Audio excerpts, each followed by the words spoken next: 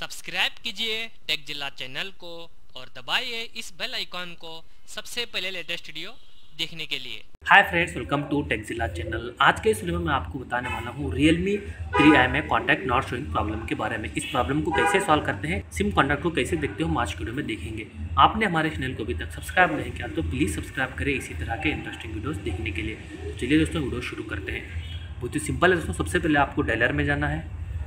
Dealer में जाने के बाद आपको जाना है कॉन्टैक्ट्स में।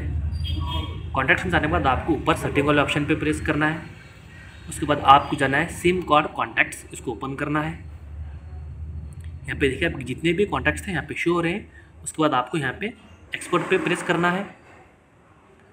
ऑल सेलेक्ट बोलना है और एक्सपोर्ट बोल देना है।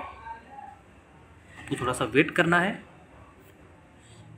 आप डुप्लीकेट कॉन्टैक्ट को मर्ज भी कर सकते हैं कैंसिल भी कर सकते हैं, मैं यहाँ पे कैंसिल करूँगा। तो आप इस तरह से रियलमी थ्री आईफोन में कॉन्टैक्ट नॉट शोइंग प्रॉब्लम को सॉल्व कर सकते हैं। तो उम्मीद करता हूँ दोस्तों वीडियो अच्छा लगा होगा। वीडियो अच्छा लगा तो लाइक करिए शेयर करिए और सब्सक्राइब करना ना भूलिए। टेक्जिला चैनल को मिलते हैं नेक्स्ट वीडियो में।